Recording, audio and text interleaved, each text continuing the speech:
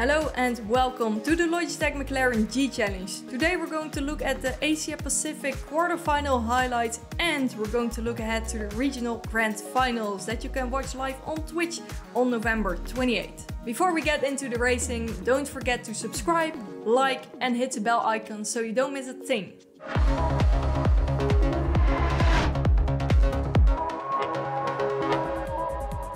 First up, it's the Xbox race, where the podium finishers will all qualify.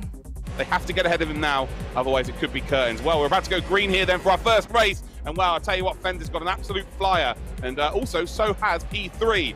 And you can see there a little bit of a checkup from Ozzy Carter. Got a little bit too close there. Big moment there for Dargs. Dargs runs wide. And he's actually now in down to a seventh position. And actually, if anything, SA2's sorting himself out here. But oh, big tank slapper off the curb there for Newton. And again, he's on the power a little bit early, up the inside here. And again, is he going to shove him out wide? No, he's not. Side by side action. Fens, who leads the way now by 4.6 seconds. He's going to be looking in his rear, rear view mirror, be really happy with what he's seeing. Half a second there. And uh, again, questions being asked. Oh, no, it's a big mistake there. And has he saved that? Oh, Newton, that's a hell of a save. Six seconds up after six laps completed is uh, is a big, big sign that uh, there are big things to come here for Fens. Uh, Newton just did a 120.1, so Newton's got the pace, consistency not quite there, a couple of seconds off of where he needs to be if he wants to go out and win this race. Can Newton cover six and a half seconds and overtake in just over nine minutes? And I think Newton's made a mistake here. Oh, he does, yeah, there we go, the timing was coming down. And well, you know, he's out under pressure because Fens just keep putting in those lap times. We will be able to crown Fens a regional finalist for the Logitech McLaren G Challenge. He was nowhere near anyone during this race. There was no contact with anybody. He's going to have qualified. Across the line he goes. And well, in second position, it will indeed be LSEM Newton. And then we will have Outlaw Cartoon, who will take the podium spot there. And John, what a performance it was. Fens fully deserves it. Our second race is on PlayStation, where the podium finishers will all qualify. Matt is on pole position because Fuji did not ready up for the race. So Fuji has not readied up for the race here. And well, we go green, and it is Monkey Matt that takes the lead. So Kaza then is in second spot, and our pole position driver did not ready up.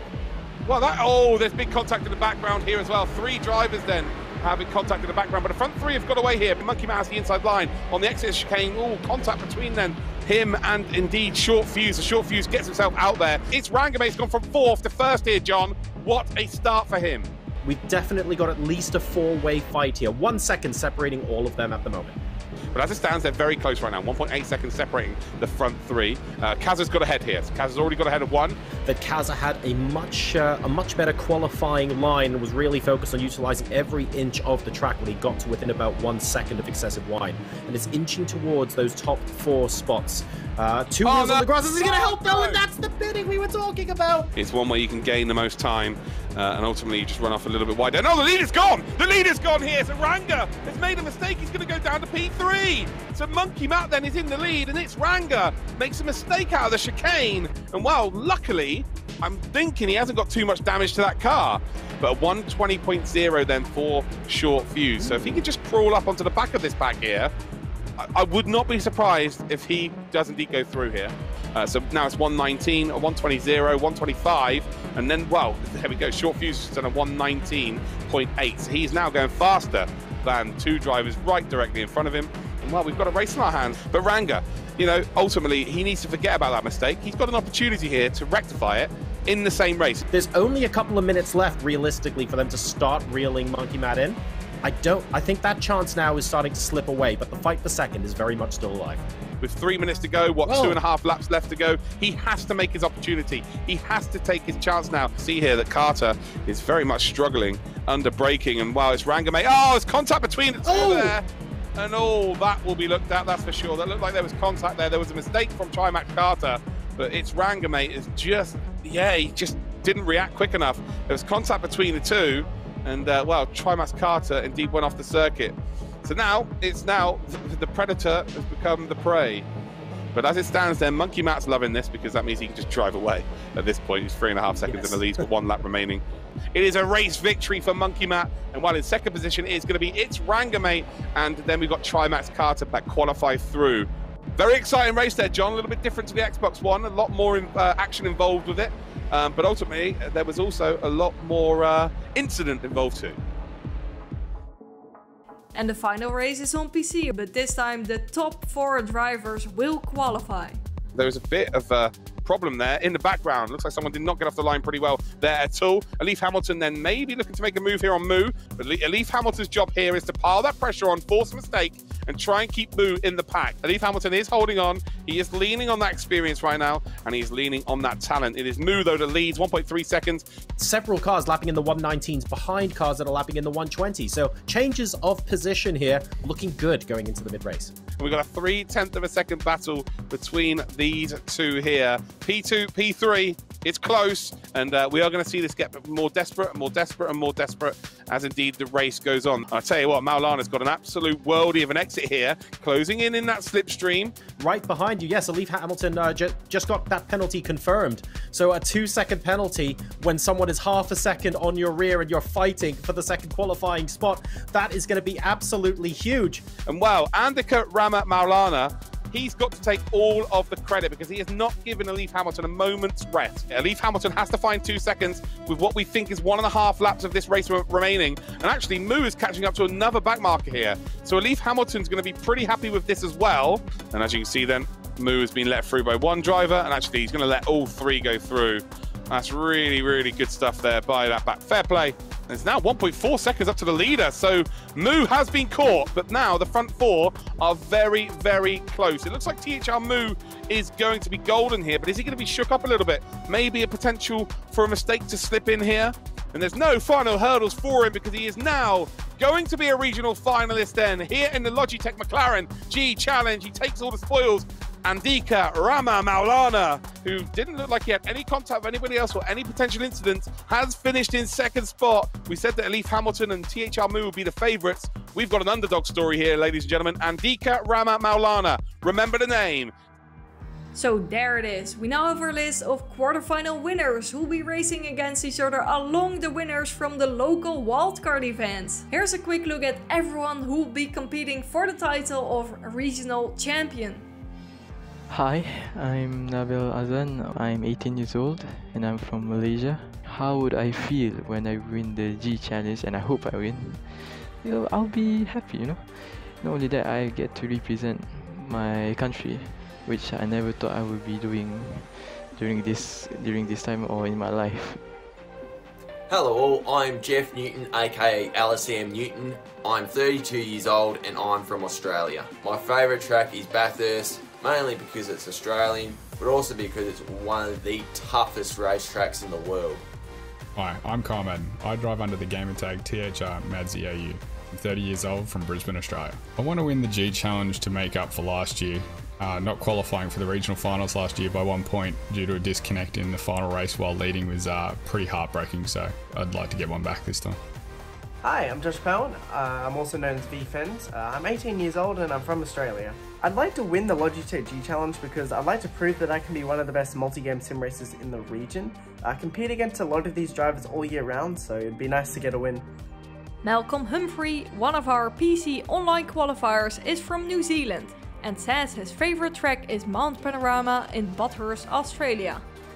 Hi guys, my name is Alex, otherwise known as Outlaw Cartoon 16. I'm 27 and I'm from Australia. This is my first foray into online racing. In the past it's been a lot of single player. Reaching this final has definitely been my biggest achievement to date. Hey guys, my name's Bailey Freeman, aka it's Rangmate. I'm 17 years old from Australia. I've been sim racing for a few years now, but I got my first wheel when I was 7. My favourite driver would have to be Jamie Whincup, simply because I grew up watching and supporting him. Uh, my name is Daniel Shields, I'm 21 from Australia. I've been sim racing for four years now and started on a wheel in 2017. My favourite driver is Max Verstappen because he just generally makes F1 races much more interesting to watch. I've been sim racing competitively for a few years now, um, but I've been playing racing games like my whole life. No, I don't think I have a legitimate answer. I want to win the G Challenge because I'm a race driver. No one likes coming second. It's the, it's the cheese answer. There's a lot of great drivers in this competition, so I'm not really expecting to be up there with the front runners. Um, but yeah, obviously super excited. Hello, I'm Jun Rasigi from Japan. 14 years old. I started the go-kart racing at 18 years old. I won the amateur national kart race at 20. Suzuka is the best track for me. It's fun to watch races and to drive by myself. Hello, my name is Andika Rama Maulana. I'm 26 years old. I'm from Indonesia and I'm racing for Legend of Racers. I've been doing sim racing since 2010, so it's like already 10 years in sim racing. So yeah, but it's my really first time uh, driving in Project CARS 2. Our Muhammad Alif, you'll know him as Alif Hamilton 44, was one of our PC online qualifiers. Those are the drivers. I'm here with Luke. Luke, what surprised you about the quarterfinals? I think the biggest surprise for me is that Monkey Matt's bounced back. Like last year, he was one of the favourites going into the regional finals in the APAC region and just didn't really perform to the level. But this year, he's back. He means business. Is there anyone else we should keep an eye out for? Yeah, absolutely. We have the Xbox, of course, added this year, which has really given loads of new drivers an opportunity. And I say new drivers, VFens last year, he was a McLaren Shadow finalist. Uh, he came all the way over from Australia with his family, uh, and he's qualified. He was actually the fastest. He had the fastest time over all three platforms. He's definitely someone to watch out for. Uh, and of course, he's very well known for driving without socks. You'll love me mentioning that, that's for sure. Uh, but yeah, uh, this, this, is really strong. Like I think this is the strongest we have seen APAC be across the last few years, uh, for sure. So yeah, all three platforms there are drivers that could potentially go out and win this whole thing. With the regional grand finals coming up, what are we most hyped for, Luke? What are we gonna see? What do we want to see? Now, normally you see that the PC drivers are the ones that are the favourites going into it, but I genuinely believe for the first time we've got an Xbox driver here in VFens who's the favourite to take away the regional finalist uh, championship. So I don't know. It's just going to be great. Like at this stage of the t- uh, competition, they're all really, really good drivers. So it could be anyone's at this point. Uh, the best factor is they've got more than one race to do it. So again, the quarterfinals was a one shot. You're through or you're not through, but now it comes down to a bit more consistency. I'm really excited to see the battle of the platforms. Everybody will drive now on PC, so the quickest driver will win. And who that's gonna be, we will see in the regional grand finals. Thanks, Luke, for joining me, and good luck with commentating the races. Thank you, Maxime. It's the best bit. It's winner takes all. I can't wait. Great! So, things are holding up for the Logitech McLaren G Challenge. Please don't forget to join Luke and John on Twitch for all the regional finals. I can't wait! And don't worry if you missed any, because you'll be able to find all the events on the G Challenge YouTube channel.